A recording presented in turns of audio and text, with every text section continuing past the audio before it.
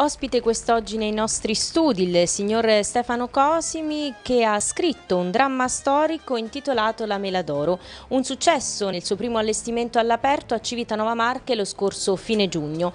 Come è nata l'idea di scrivere proprio questo testo e di metterlo in scena? Sì, io mi occupo anche di, di storia, normalmente di, eh, di Medio Oriente e di storia moderna e contemporanea. Questo però è un episodio che mi ha sempre colpito molto per eh, la drammaticità con cui si è svolto e in pratica la Mela d'Oro è Costantinopoli nel linguaggio dei turchi ottomani che sono quelli che decreteranno la fine di un impero ultramillenario che poi è l'impero romano d'Oriente anche se ormai parliamo di greci da molto tempo. Cade il 29 maggio 1453 Costantinopoli e termina l'impero dopo un assedio di quasi due mesi mosso dai turchi ottomani. La città è difesa da soli 4.000 soldati greci e mercenari e da 2.000 latini, quasi tutti eh, sono genovesi e veneziani. I genovesi hanno il comando delle mura di terra, i veneziani di quello che rimane dell'armata eh, di mare.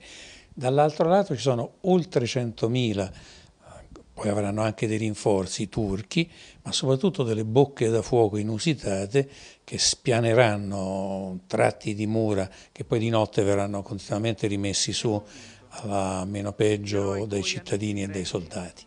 Una scenografia particolare, un cast con tanti attori, quanto lavoro c'è dietro una messa in scena come questa?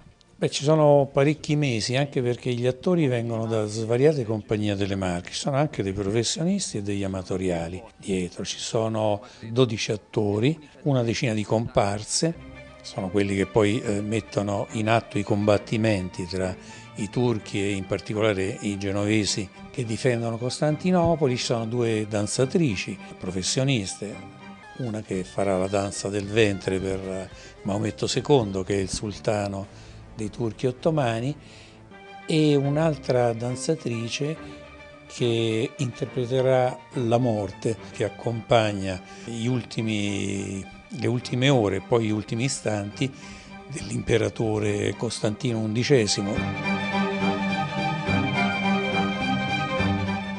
Un lavoro così ponderoso, impegnativo, era difficile che avrebbe potuto fare il successo che ha fatto e che però noi eh, replicheremo d'inverno in varie località, abbiamo già dei contatti. A chi si sente di consigliare la visione di questo suo spettacolo?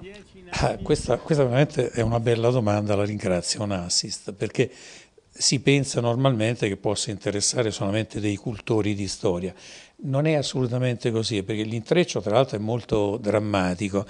È drammatico ed è congegnato il racconto eh, senza eh, trascurare alcun particolare, quindi le fonti sono fonti storiche eh, assolutamente attendibili, ma cosa avviene? Che si ingenera nello spettatore, che può essere una persona assolutamente comune, che vede un normale spettacolo, si, si ingenerano varie aspettative, tra cui quella che la storia finirà bene per i difensori, cosa che eh, nei fatti non avverrà, e, e, quindi lo spettatore segue fino in fondo eh, quello che gli viene proposto, ripeto, senza alterare in nessun modo la realtà storica dei fatti. Quindi a tutti lo consiglio.